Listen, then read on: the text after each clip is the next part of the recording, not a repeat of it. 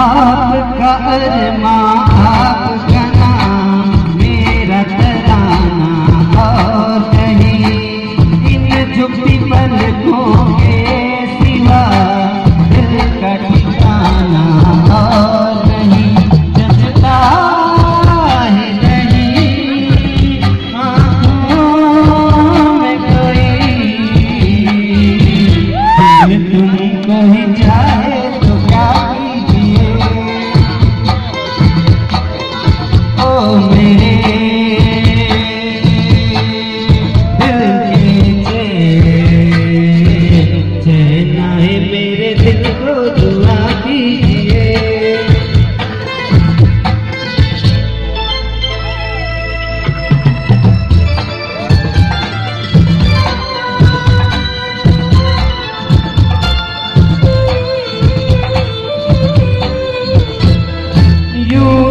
अकेला ही अक्सर